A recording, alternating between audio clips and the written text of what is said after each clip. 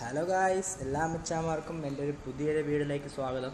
അപ്പോൾ നമ്മളിത് നോക്കാൻ പോകുന്നത് നിങ്ങൾ തമ്മിലായിട്ട് തന്നെ കണ്ടു കാണും ഒരു ആയിരം രൂപയ്ക്ക് താഴെയായിട്ടുള്ള ഒരു ബഡ്ജറ്റായിട്ടുള്ള ഒരു ഹെഡ്സെറ്റാണ് ഞാൻ നിങ്ങളെന്ന് പരിചയപ്പെടുത്താൻ പോകുന്നത്. അതായത് ഇത് ഇതൊരു സെബ്രോണിക്സിന്റെ ഒരു പ്രോഡക്റ്റാണ് ഗൈസ് ഞാൻ യൂസ് ചെയ്യാൻ തുടങ്ങിയിട്ട് മൂന്നാൽ മാസമായി. സംഭവം കിട്ടുക്കാഴ്ചയായിട്ടുണ്ട്. സോ നിങ്ങൾക്കത് യൂസ്ഫുൾ ആവുന്ന കരുതി നിങ്ങളെ ഒന്ന് പരിചയപ്പെടുത്താമെന്ന് കരുതി വന്നതാണ്. സോ നമുക്ക് നേരെ വീഡിയോയിലോട്ട് പോവാം. അത് പോകുന്നതിന് മുമ്പ് എന്റെ ചാനൽ ഇതുവരെ സബ്സ്ക്രൈബ് ചെയ്യാത്തവർ തീർച്ചയായിട്ടും എന്റെ ചാനൽ ഒന്ന് സബ്സ്ക്രൈബ് ചെയ്ത് കൊടുക്കുക. കൂടെ തന്നെയുള്ള ബെല്ലൈക്കൻ ക്ലിക്ക് ചെയ്യുകയാണെങ്കിൽ ഞാൻ അപ്ലോഡ് ചെയ്യുന്ന വീഡിയോസ് നിങ്ങൾക്ക് പെട്ടെന്ന് തന്നെ ലഭിക്കും. എത്തിച്ചേരുന്നതായിരിക്കും നോട്ടിഫിക്കേഷനായിട്ട് സോ ഒരുപാട് സമയം കളയുന്നില്ല. നമുക്ക് നേരെ വീഡിയോയിലോട്ട് പോവാം.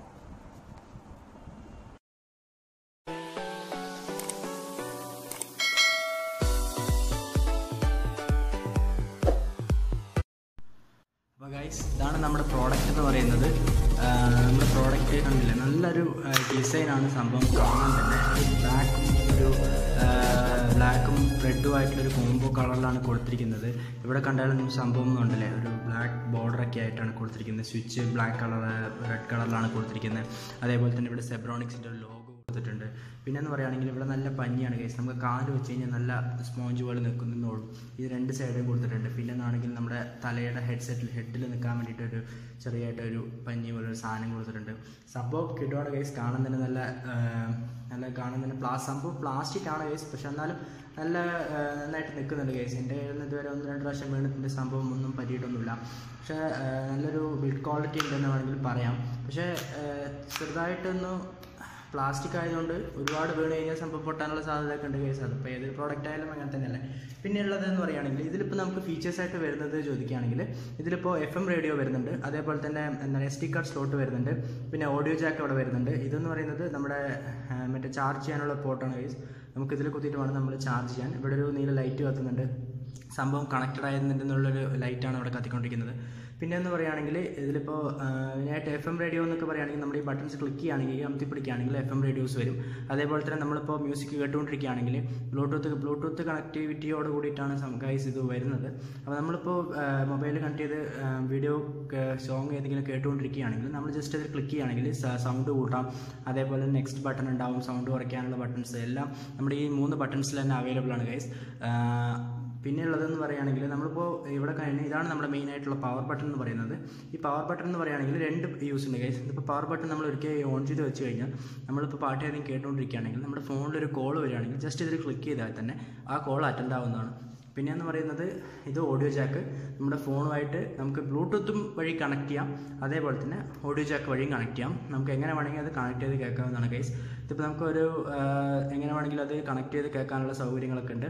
പിന്നെ എന്ന് പറയുകയാണെങ്കിൽ ഇനി അത് ഇനി ഒരു അടുത്തൊരു ഫംഗ്ഷൻ എന്ന് പറഞ്ഞാൽ S D card S D card slot നമുക്ക് എസ് ടി കാർഡ് ഇട്ട് കഴിഞ്ഞാൽ നമ്മളിങ്ങനെ സോങ്സ് കണ്ടിന്യൂസ് ആയിട്ട് വരും. പിന്നെ അതിൽ നമുക്ക് ബ്ലൂടൂത്തിന്റെ ആവശ്യമൊന്നുമില്ലല്ലോ. ജസ്റ്റ് നമുക്കിത് ചാർജ് ചെയ്ത് കഴിഞ്ഞാൽ ഇതിൽ ചാർജ് നിൽക്കുന്നുണ്ടെങ്കിൽ സംഭവം ഇവിടെ ഒരു ഹെഡ്സെറ്റ് ഇട്ട് കഴിഞ്ഞാൽ സോറി ഇവിടെ ഒരു മെമ്മറി കാർഡ് ഇട്ട് കഴിഞ്ഞാൽ സംഭവം സംഭവം കിട്ടിക്കാഴ്ചയായിട്ട് പാട്ടുകളൊക്കെ കേട്ട് നന്നായി പോവാം. ഇതിന് നല്ലൊരു പവർ ഉണ്ട് സംഭവം.